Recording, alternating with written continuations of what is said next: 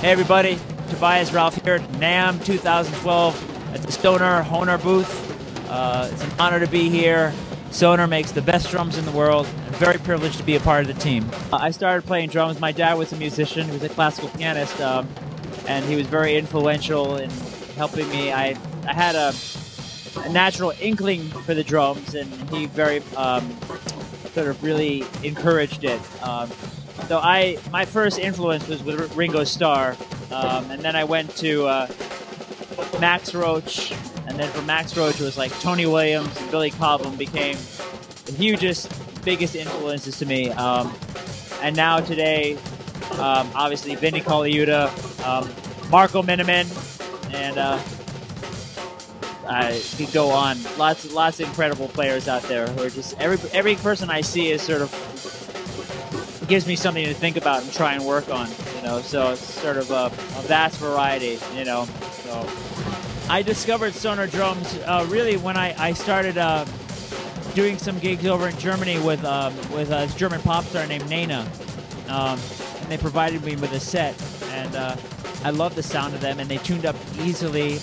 Uh, a lot of Sonor drums have this really nice low end, uh, and like I put any head on them, and they just they tune up perfectly.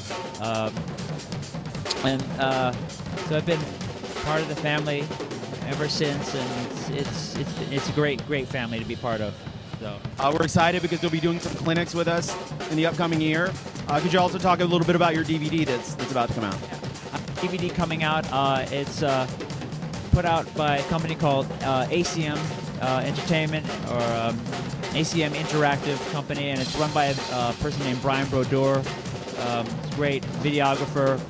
Uh, and the DVD should be coming out in a couple of months. And we have a couple of promo copies here, and uh, covers a lot of different things. Um, and sort of sort of shows my influences of, of starting when I got really interested in playing techno music and drum and bass music, and how those elements sort of have come into play in other facets of, of, of my playing.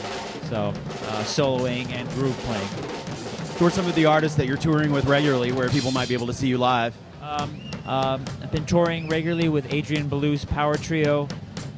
Um, I was on the road for a long time with Tricky.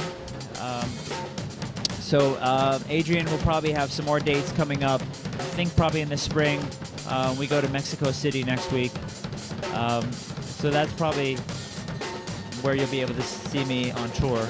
Know, so hopefully there'll be more stuff coming up.